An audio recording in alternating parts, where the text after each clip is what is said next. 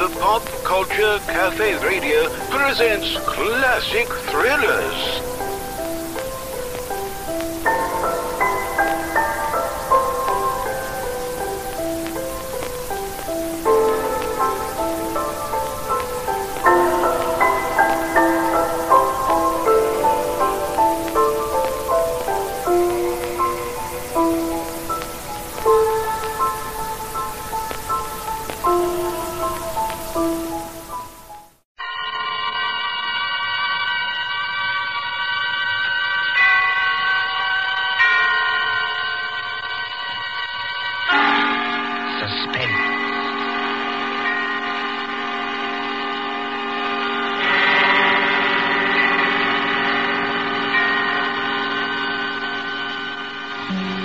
This is the man in black.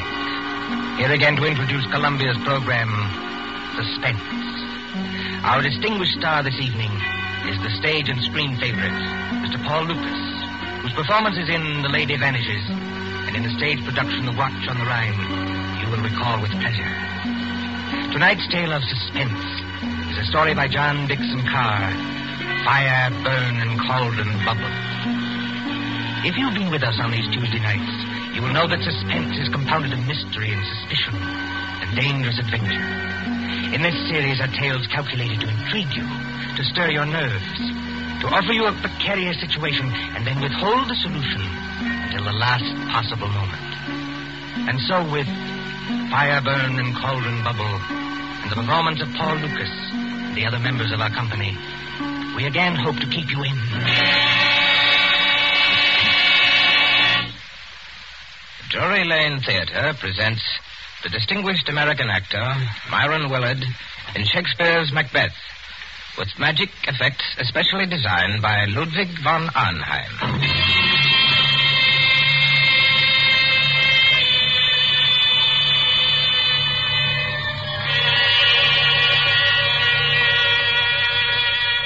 Double, double, toil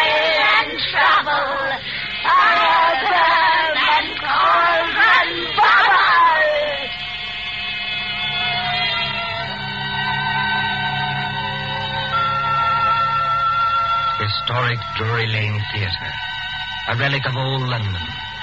On this site, in the cramped and crooked lanes of Aldwych, there has been a playhouse since Nell Gwynn sold oranges in the pit.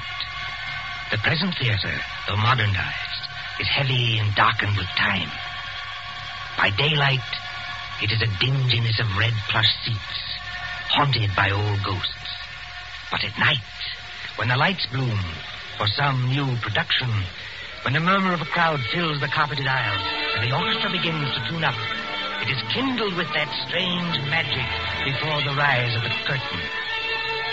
Four six way, sir. E12 and 13. Program. Chocolate. Thank you. No, Manton. This is Rowie. Your seat's a G4. And backstage, where nerves crawl and there is a tendency to scream, the three witches of the play are huddled around the peephole in the curtain, looking out into the audience. They are hideous looking creatures, these witches, in gray rags like cobwebs. But as they speak, Dear, I am scared. Don't let it bother you, darling. You can't even see the audience when the floats are on. There's nothing to worry about. Nothing except the size of the take at the box office. You won't even have to worry about that tonight. Look out there. You two are shaking as much as I am. Now, don't pretend. All right, all right. Everybody's jumpy on first night. What I can't understand is why they want to use young girls as witches. And then make us talk in cracked voices as though we were 80. Double, double, toil and trouble, fire, burn, and cauldron bubble. What's that? Dear darling, it's only one of the ghost effects. You've been hearing it for weeks at rehearsals. I will say this for Myron Willard, as an actor and a manager, too. He's the first one who's ever had a real professional magician to do the ghost effects for this ham show. Oh, are they, Celia? Look there. Where?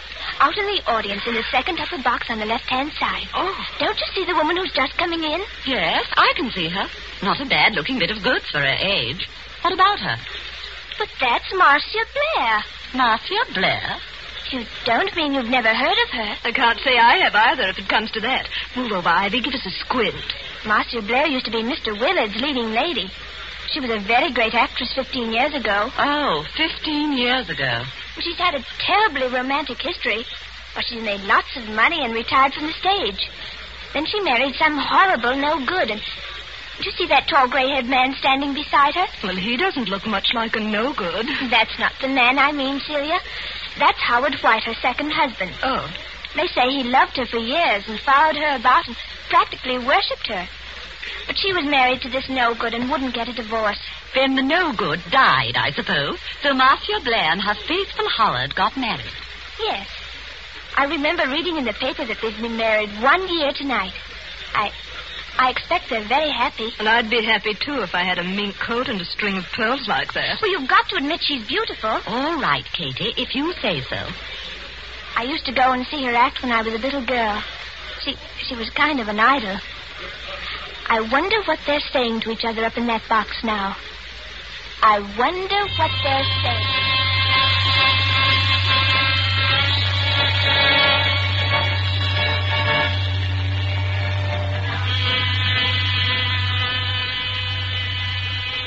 Marcia, dear, I wish you wouldn't be so uneasy.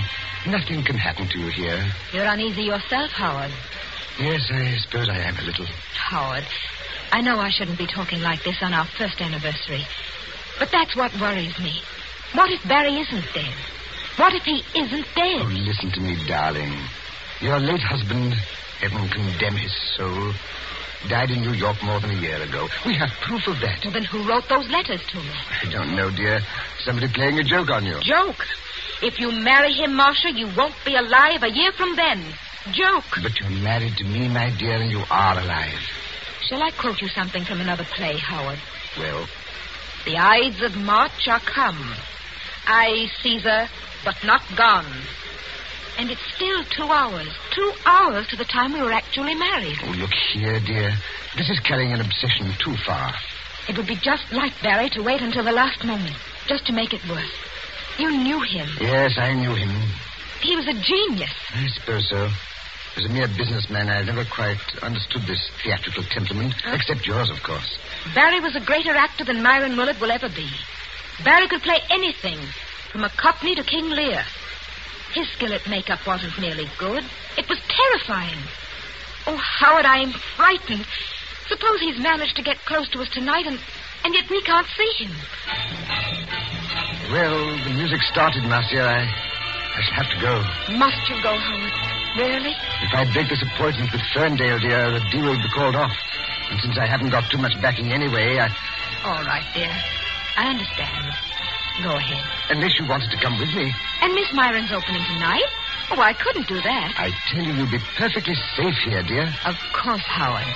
I know that. You're in full view of 3,000 people. Nobody could attack you. The only door to this box is guarded.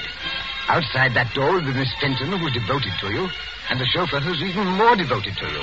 What could happen, dear? Nothing, of course. And I'd prefer to be alone anyway. Yes, I rather guessed Oh, that. please, dear. It's just that I can't endure anybody being with me when I'm watching a great play. But that doesn't include you, darling. Then, if you'll accept these, madam, in honor of our first anniversary, Oh, Howard. Well, they're lovely. Of course I'll accept them. and here's a program. Got everything else you need? Yes? Yes, I think so. I just opened the door to the passage to make sure our watchdogs are on guard. Yes, they're out there, all right. Good night, Marcia. See you in an hour or two. Good night, Howard. And good luck. Miss Fenton, Bradley. Yes, Mr. White. Yes, sir. Anything wrong? Miss Fenton, you've been my wife's companion secretary for five or six years. Yes, Mr. White, and I've loved every minute of it. And you, Bradley, you haven't been my chauffeur for quite so long, but they tell me you're an ex-wrestler. That's right, sir. Champion of the Shoreditch Athletic Club. And in my prime, though I says it as shouldn't, as good a man as ever climbed through the ropes. Now, you know your instructions, Bradley. You trust me, sir. Nobody gets into this here box tonight unless it's over my dead body. Nothing must happen, do you understand? Nothing. Please, you're as white as paper. As for you, Miss Fenton, I'm afraid it's a little awkward. I know I ought to ask you to go in and join Marcia, but... Oh, you needn't apologize, Mr. White. I know she doesn't want company. She'll be leaning forward with her elbows on the box rail, just as she always does. She isn't merely watching a play. She's acting, Lady Macbeth. Every line, every gesture. And I don't mean to disturb her. And You, you won't leave this door, either of you. You trust me, sir. If. Hello. Well, anything wrong, Bradley? It is a very rummy looking cove coming along the passage, sir, wearing a big black cloak with a red lining. Oh, that man, Bradley. That's only Herr von Arnheim. He, he's a professional magician and escape artist. I was just wondering. uh, Excuse me. Don't worry, Mr. White. We'll look after her. Von Arnheim. I see von Arnheim. Thou canst not say I did it. Never shake the gory locks at me. I beg your pardon. And I beg yours, my friend. I was merely quoting a line from the play. You are not leaving the theater. Surely not walking out on Macbeth. I'm afraid I've got to. Oh, that's a pity, my friend. You will miss some of my best effects, to say nothing of Shakespeare's. when Banquo's ghost appears at the table. I don't want to hear any more about ghosts, thanks. Banquo's or anybody else's. I imagine you mean your wife's late husband. You've heard about it then? Yes, your wife has told me a good deal. She seems to think that in my profession I might have some charm over demons or spell against ghosts. You know, Von Arnheim, in a muddled kind of way, that's what I've been wondering myself. Uh, unfortunately, no. I am all too human. But your problem interests me. And I confess it worries me. What is you? What about me? As I understand it, her first husband was a half mad American actor who later went completely mad and died in New York. His, uh, oh, what's the word I want? Or obsession? Uh, that's it, obsession. His obsession was Marcia Blair's eyes. Yes, always her eyes. They seem to hypnotize him. But It is not new, you know. You'll find the same motive, the eyes of a beautiful woman, all through the works of Edgar Allan Poe. Then, as I understand it, after this man's death, she began to receive a series of letters. Foul letters. Apparently written by him, and threatening her with some rather horrible form of death if she married you. I tell you, Barry Lake is dead. He can't get up out of his coffin. Oh, getting out of coffins, my friend, is not so difficult. I have done it myself. Oh, please stop joking, Von Arnheim. You don't happen to be dead. True. There is that small difference. Um, is your wife here in the theater tonight? Yes. She wouldn't have come here except that it's Myron Willard's first night. We haven't seen Myron, either of us, in years. She's back there in box D. So I hear. Uh, I was hoping uh, that you might invite me to share the box. Look here, old man. I, I don't want to seem inhospitable, but. Uh, she doesn't want company? Well, that's about it. Well, then walk back a little distance with me, this way, so that we can see the stage from the back of the dress circle. Now, the orchestra has stopped, and they'll ring up in a moment. There. Look at it. Look at what? The stage, man. The lights have gone out. All except dim yellow footlights shining at the curtain. The last cough, the last murmur, the last rustle of program dies away in one vast, breathing hush. The curtain goes up. Let go of my arm, Von Arnheim. I, I've got to leave. Now, what are the stage directions? Desert place, thunder and lightning. Enter three witches.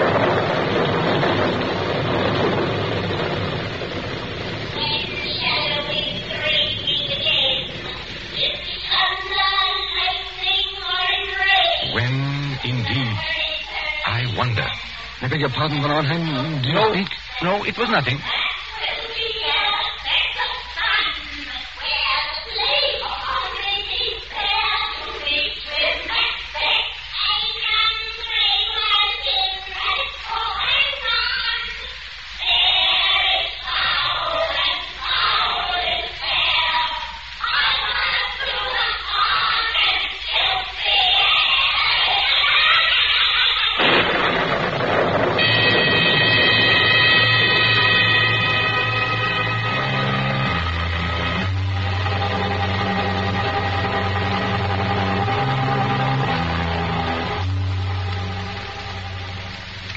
London newspapers for that year, 1936, you may read how Myron Willard triumphed at Drury Lane as Macbeth.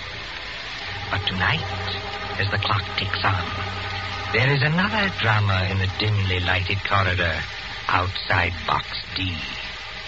There sits Miss Louise Fenton, Marcia Blair's companion secretary. Beside her, burly and broken-nosed, is big Jim Bradley, the ex-wrestler. And when more than half an hour has passed, There's the applause, Jim. That must be the end of the first act. Yes, yes I hear it. Nothing's happened. And take my word for it, nothing's going to happen. Oh, she's such a likable person, Jim. And I think one of our greatest Shakespearean actresses. I don't much care for this Shakespeare business, miss. You give me a good movie with gangsters in it. It's my style. Oh, you don't understand, Jim. I've seen her as Juliet, as Rosalind, as Portia. In our own drawing room without any props. I've heard her as Lady Macbeth, too. Hmm, you should see her eyes. Their eyes, miss? Yes, you should see her eyes when she delivers that speech. The raven himself is hoarse that croaks the fatal entrance. Hey, miss, look there. What is it? That foreign-looking cove in the black cape. Coming along the passage now. Easy. I beg your pardon. You are Miss Louise Fenton, aren't you? Uh, yes, my name is Fenton. What is it? I am looking for Arnheim, a friend of Mr. White's.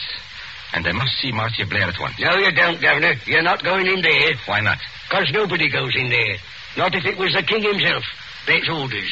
Now listen to me, both of you. When the lights went on, I happened to be looking at box D from the other side of the theater. And I think Yes? there is something wrong. But there can't be anything wrong. Jim Bradley and I have been sitting here the whole time. Except, of course. Except when? Well, except when I went in there for a few seconds. You went in there, Miss Fenton? May I ask when that was? Well, it was after Mr. White had gone and just before the play started. I went in to ask if she wanted anything. She said she didn't, so I came out again. And Bradley's been with me all the time, except when he went to get a drink of water up the corridor. That's as true as gospel, Governor. One moment and listen to me. Marcia Blair is leaning forward across the railing of the box. Oh, but that's nothing, Herr von Arnheim. That's the way she always is. Does she always fall forward with her arms held straight out and her head down on her arms? You better be careful, miss. It's a trick. Trick? Why not open the door and see for yourselves? Would that do any harm? No, I. I suppose it wouldn't, but. Oh, there must be some mistake. We haven't heard a sound from in there. There couldn't be anything wrong. You open the door, Miss Fenton. I'm going to hold tight to this gentleman just in case. Quiet, please. Quiet. What is it, miss? Oh. Walk in there with me, both of you. Please go carefully, as though nothing were wrong. Mm. We don't want to attract attention. Now, mm. Oh, Herr von Arnheim. There's blood all over her face. yes. And don't begin screaming again, Miss Fenton, when I tell you she's dead. Bradley, Uh, yes, sir. pick Miss Blair's body up and carry her out into the corridor. In another minute, we'll have the whole theater wanting to know what's wrong. All right, sir. You win. But what about the people in the other boxes? Won't they see? They've gone down to the bar to get a drink. They won't see anything. Hurry. Uh, she ain't no lightweight, the poor lady ain't. Steady does it. Uh, hold the door open. That's got it. Now, close the door. Shall I put her down on the floor, Governor? Yes, better do that. I never took those threats seriously. That's what I blame myself for. And if something did happen, well, I, I thought he'd attack her. I never thought he'd hide away across the theater and fire a shot. And you were quite right, Miss Fenton. Marcia Blair was not shot. She. She wasn't shot. No, take a look at the wound. Oh, I can't look at it. She was stabbed. Stabbed through the right eye Oh. with a oh. narrow, sharp blade, which entered her brain and killed her instantly. Not a pretty death, but a quick one. You seem to know a lot about this, Governor. Perhaps I do, my friend, and perhaps I can guess a lot more. You mean somebody stood out there and threw a knife at her? Like a ready music hall turn? No, I don't mean that either. There's no knife in the wound and none in the box. The murderer took it away. Took it away? Exactly. Herr von Arnheim, please wait.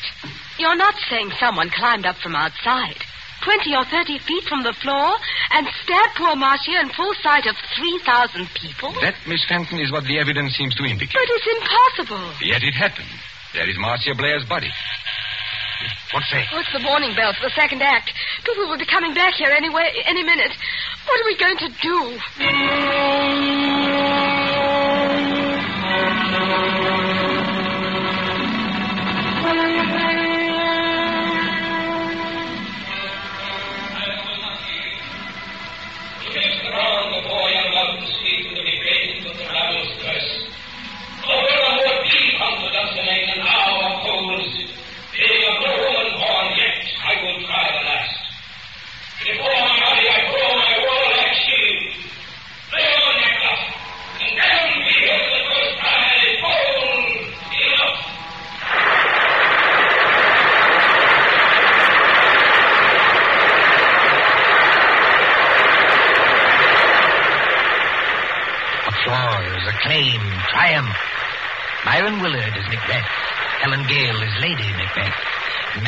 Magical by Ludwig von Arnheim. Very few persons knew that there is a dead woman in the theater. But at the end of the play, it is a different story.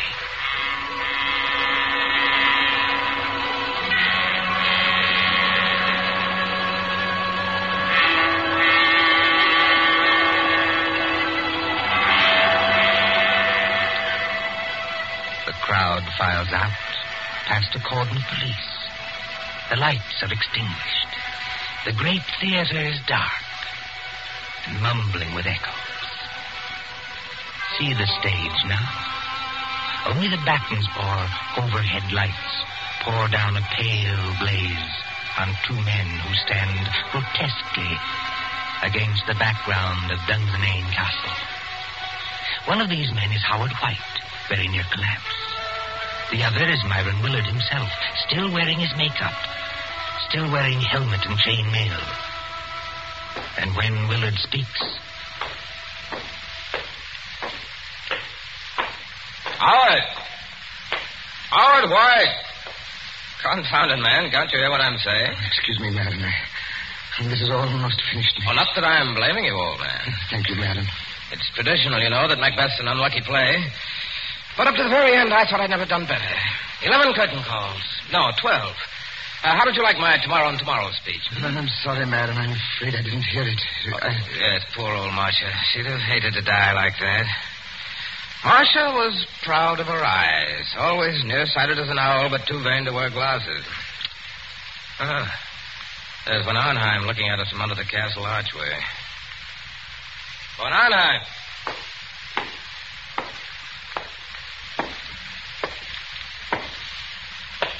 Did you call me, my friend?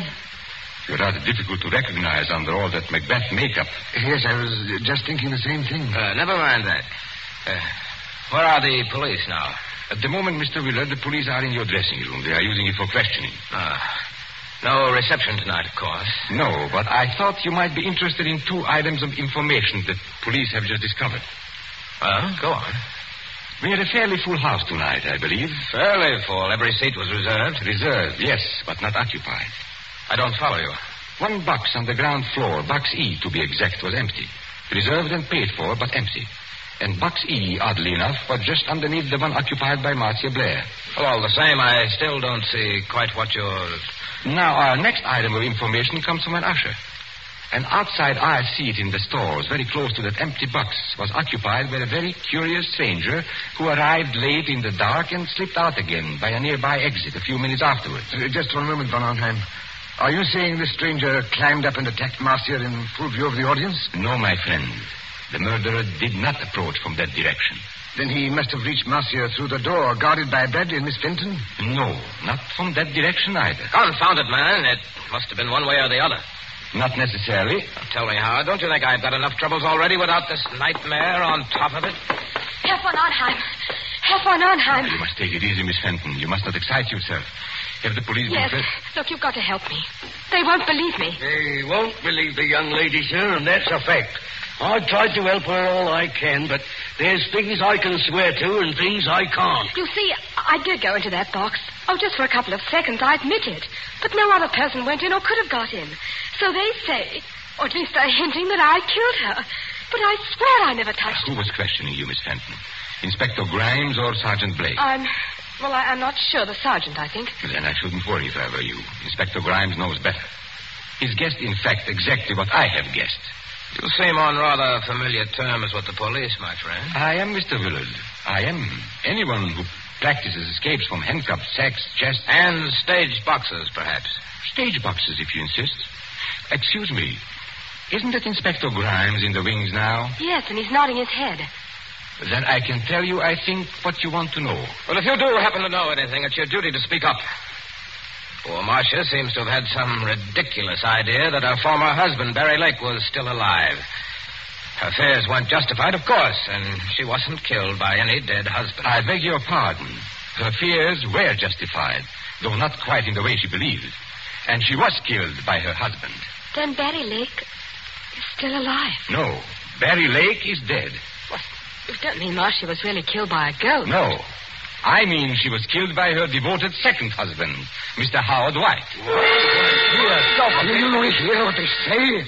That's not true. It's a slanderous statement. I, I'll have you in court for it. I, everybody knows how devoted I was to Marcia. Your devotion, my friend, was devotion to her money. And your business affairs have been shaky for a long time. That's not true, and you can't prove it. Marcia Blair was inclined to be, shall we say, a little close-fisted with money. That's true anyway. It's a lie, a lie. Willing to marry him, but Mr. Howard White knew he'd never touch a penny unless he killed her. He wrote the letters himself. Herr von Arnheim, he can't be guilty. She was alive after he left the box. He wasn't anywhere near her when she died. Perfectly correct, Miss Fenton. He wasn't there, and yet he killed her. Exactly. But you and Bradley can supply the clue that will hang him. Uh, me, sir? I don't know nothing. No, I don't either. I think you do if you'll put your mind to it. Do you remember what Howard White said to her just before he left the box? Uh, yes, he said, Good night, Marcia. See you in an hour or two. And she answered, Good night and good luck. No, I mean just before that. I. Well, there wasn't anything. You see, it's a slanderous statement without any proof. It's an insult to my position on the stock exchange. Wait. I do remember something rather queer. Think, Miss Fenton, think. He said to Marcia jokingly, If you'll accept these, madam, in honor of our first anniversary. And Marcia said, Howard, they're lovely. Of course I'll accept them. That's right, sir. He did say it. And what do you think he was referring to, Miss Fenton? What was he asking her to accept? Well, I, I imagined it was flowers, a corsage or something like that. Did you see any flowers in the box or pinned to Marcia Blair's gown? No. I come to think of it, I didn't. Then what did he give her? Uh, don't look at me, sir. Now, here is a woman who is very nearsighted, yet refuses to wear glasses. But she can accept a pair of. Opera glasses. It's a lie. You can't prove it.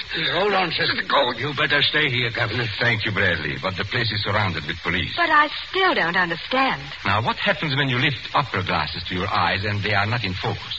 You turn the little wheel in the middle to bring them into focus. For Marcia Blair, it was deadly. You mean that the glasses had. Yes, they were specially constructed glasses, Miss Fenton. They were invented by a French criminal years ago. That little wheel is a little trigger. It releases the spring of a sharp, thin blade which strikes through the eyes into the brain. Oh, don't, please. You can't prove it. Marcia Blair died instantly. The glasses torn from her eye by their own weight dropped over the box rail to the carpeted aisle below. The only witnesses who might have noticed would have been the people in the box just underneath. And that box was empty. By arrangement, yes. Even if anybody did see them fall, Howard White was prepared to remove the evidence instantly. You haven't forgotten the curious stranger. Curious stranger. I mean, the man who slipped in after it was dark, took an aisle seat just under the box, and slipped out again a few minutes later. It's a bag of lies from start to finish. You can't prove a word of it. I beg your pardon, my friend. Didn't you see Inspector Grimes not to me a moment ago? Well, You are going to hang, my friend, for one of the neatest and cruelest crimes in my experience. The police have just found those opera glasses with a neat set of fingerprints in the side pocket of your motor car.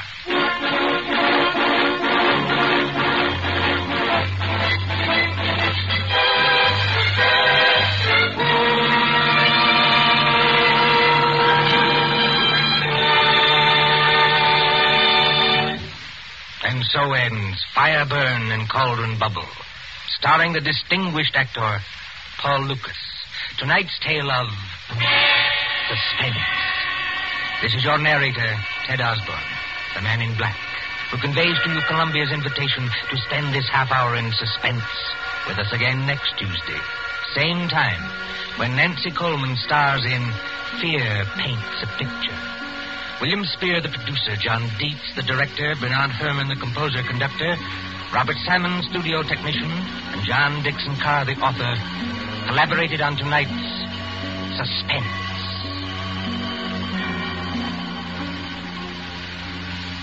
This is the Columbia Broadcasting System.